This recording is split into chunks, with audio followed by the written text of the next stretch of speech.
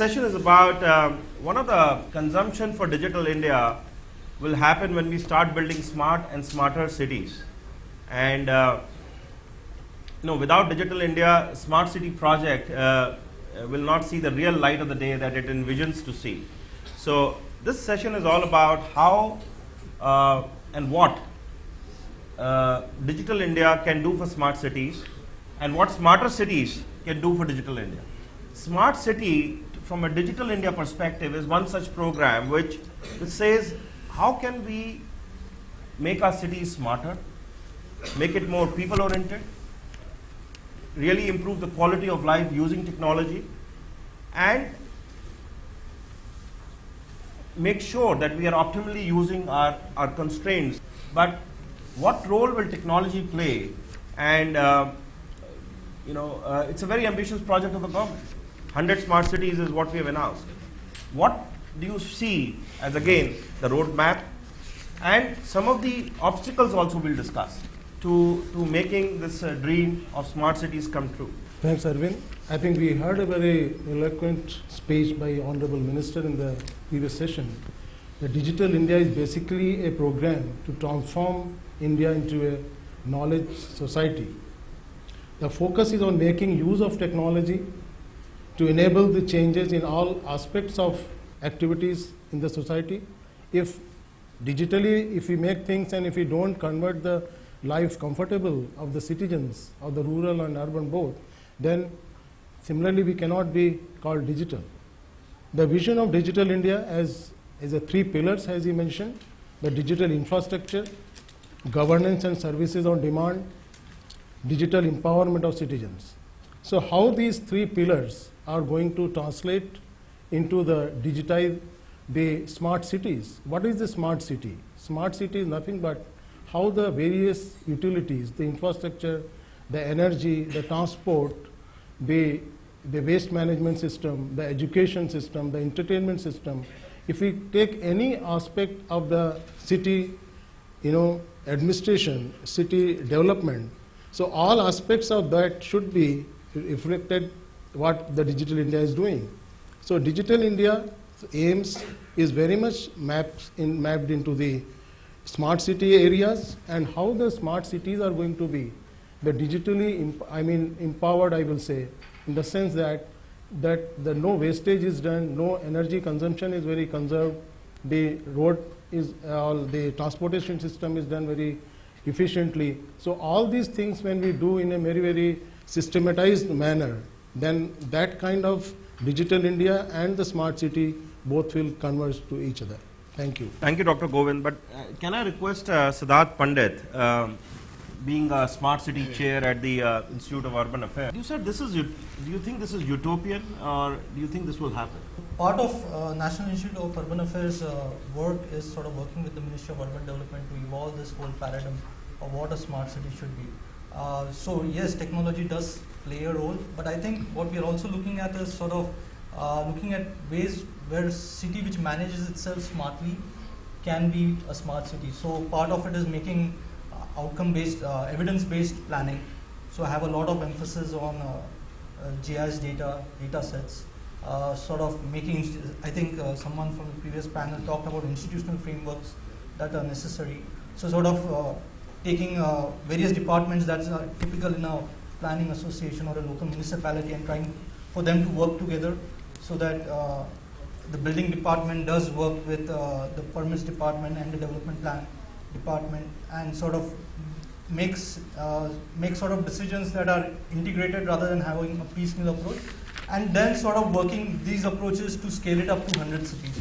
Uh, so if we can formalize uh, frameworks where decisions are made in a clear uh, manner without ad hoc basis, then that city itself is a smarter city. Uh, of course, there are uh, there are commitments that the cities need to make in terms of environment, ecology, economic development, and sort of inclusion. Uh, but those are the type of uh, maybe not utopian, but there are small approaches that can take us there. So it does it can range from a very comprehensive plan to a basket of options. Great, uh, thank you, Siddharth. Uh, Ambrish, from from an HP perspective, from an industry perspective I know uh, you, you, you talked a lot about smart cities. Uh, where do you see this converging? Uh, what are your opening remarks on that? So, Arvind, uh, I think uh, you know from HP and also I guess as an industry uh, on on technology, we see really three large pillars, which I guess all of us are interested in. Uh, so, one is obviously the smart city initiative, uh, which the government has launched on. Uh, the other is the initiative of Digital India, which is bringing technology, as Govind sir said, to, to the people. And the last is the Make in India piece. And we see them sort of very, very closely intertwined. And, and I guess companies like ours, which have a, a sort of a large footprint across all of these, it's, it's very important to be able to then use technology to help achieve this. I think we see uh, for smart cities as well as for digital India, uh, the four pillars of SMAC, which is security, and I think that's something you know which is which is pretty essential. Uh, as as Siddharth you talked about, we're seeing mobility and a lot lot of discussions around the device and access. Uh, and and again, mobility is one big piece, but you know, from a, as IT companies, we believe that with access coming through broadband, uh, the slightly larger devices will also then have play as consumption and usage increases.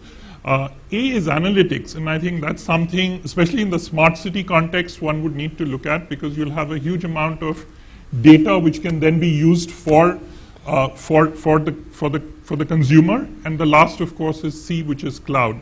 So you know, so I think that's the other sort of overlying area of technology which will drive uh, a lot of these initiatives.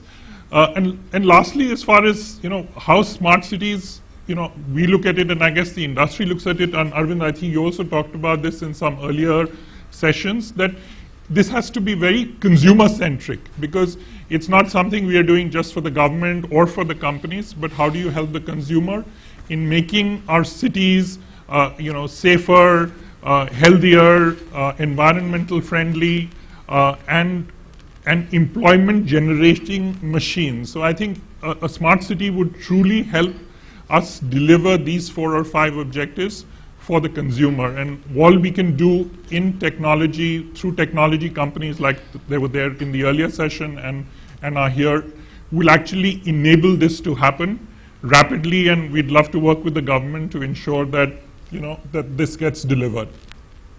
Well, thank you, Ambrish. Mr. Wakhlu from, from TCIL, you know, smart cities and all of us are talking about cities producing data, but it's, uh, you know, apart from the sensors that you can have in smart cities, it's people that need to really start giving data out or producing data and uh, generating data and then, of course, consuming that. Um, and everybody's talking about, uh, you know, there is a, a, a huge dependence on um, spectrum, our, our, our, networks are designed uh, a lot uh, towards voice and not data. What role do you see uh, uh the telecom side uh, playing in the enablement of digital India and smart cities? Uh, and some opening remarks, of course. Just for the opening remarks, as a, a, citizen of this country, I, I and I feel every citizen of this country has a right to good quality life and uh, that is what can be ensured in a smart city. Uh, starting from the air quality itself, uh, that is where the focus should be. Water supply, water management. We are talking about cleaning of Ganga, and here close by we see this fate of Yamuna also, it's almost dying in front of our eyes. And so far as the road accidents are concerned, uh, you, uh, how many lives are lost every year? We need to have smarter roads, smarter vehicles, and uh, so far as the data consumption and other aspects, generation you talked about, first the people need to get educated on this. And there is a lot of potential, as the Honorable Minister also mentioned. We have this digital dividend I mean, young uh, uh, population dividend, and we need to leverage on that. And the way over these years, the young people in this country have become tech savvy. I'm confident that this aspect, the data generation, data consumption, because yes, in smart cities, if we see the ideal which uh, used to exist in uh, the ancient times in India also, it is generation of zero pollution, zero waste, net zero waste management, net zero pollution, and you know, you can say a completely connected, digital, uh, educated society. So for that, for a smart city, there have to be smart people as well. I mean, which we need to generate and focus on a big way. Dr. Maitri, uh, some opening remarks from you before we break for the Honorable Minister to talk to us and have a conversation. So we'll, we'll quickly uh, give you the opening remarks. Sir, uh, only one line, two lines for that. Uh, Digital India is the backbone of a smart city. And number two, we have to be very clear the scope of a smart city. It's a big list, and within that list, we have to fix up the priorities physical infrastructure, housing needs, traffic and transportation issues, environment, electricity, all that needs to be addressed in a stage wise process, and that roadmap has to be prepared. Otherwise, we're not able to get it what we are looking for that if we are not planning it properly. That's it, sir. Mr. Piyush Goyal, he moved from Mumbai to Delhi in uh, May this year when he became minister. These past six months, he's gained a lot. He's gained stature, but he's lost his sleep. I guess that comes with working for Mr. Modi and his exacting team.